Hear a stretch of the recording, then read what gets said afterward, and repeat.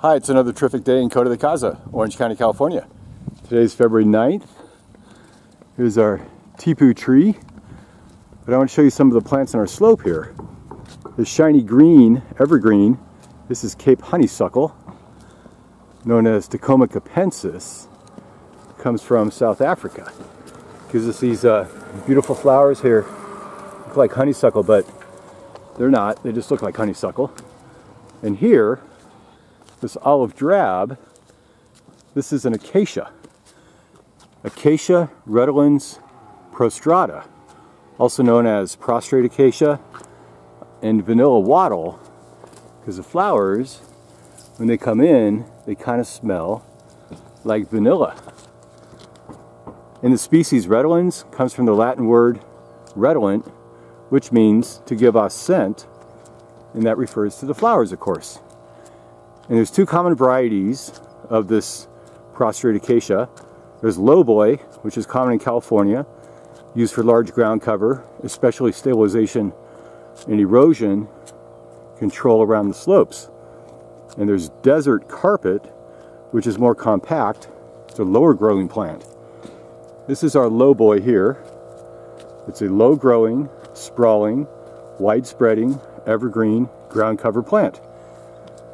It's about one to two feet tall, sometimes as high as four feet tall, and it has a spread of about 10 to 15 feet.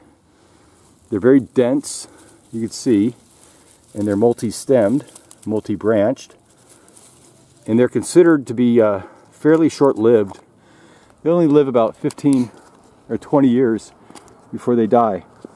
And the stems, they're thin, here we go. Break one off. They're thin, they're brownish, and they're multi-stemmed. And then you see down here, they get real thick and woody. All right? With the older growth, some of the newer growth here is a lot thinner still. And it dies off. You can clean it out if you want, but you don't really have to with this plant because it just kind of sprawls over the old growth and you get a nice uh, flat clean look you know you want to give it a nice smooth prune about springtime every year. And the leaves here well they're not technically leaves. These are phyllodes and they're extensions of the petiole.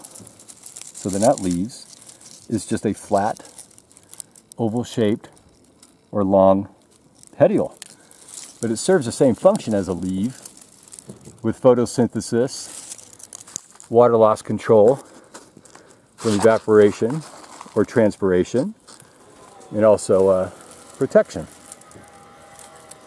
Now they're leathery. They're about two to four inches long.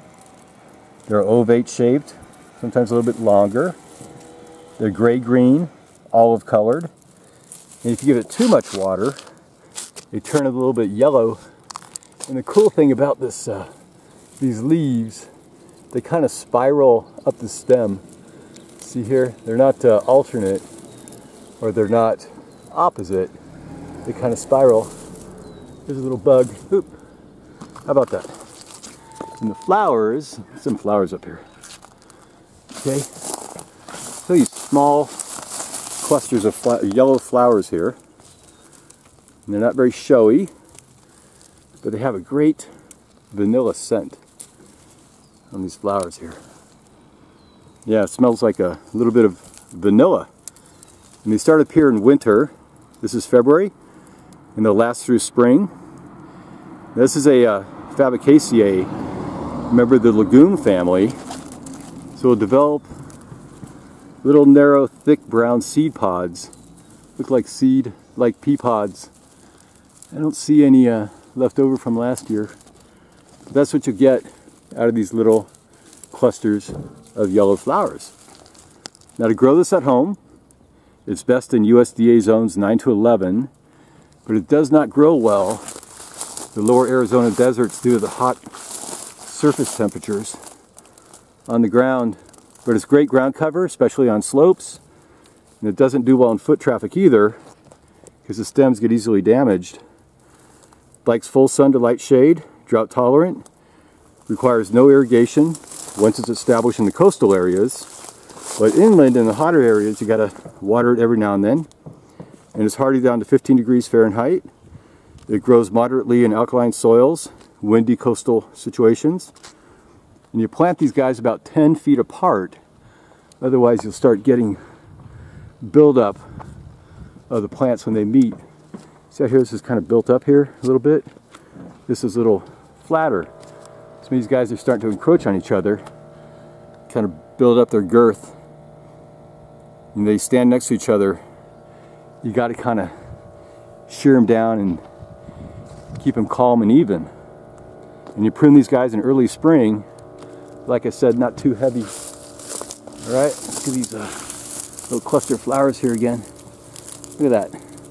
So they're really pretty, and they attract butterflies and other insects. Sometimes you find a lot of little sparrows, lesser goldfinch hanging out in these little low-lying, prostrate acacia plant here. Wow. Okay. Acacia redolens, prostrata. This is our low boy ground cover on our slope. How about that? So I hope you liked the video. Please click like, share, subscribe, all the rest. Thanks for watching. Bye.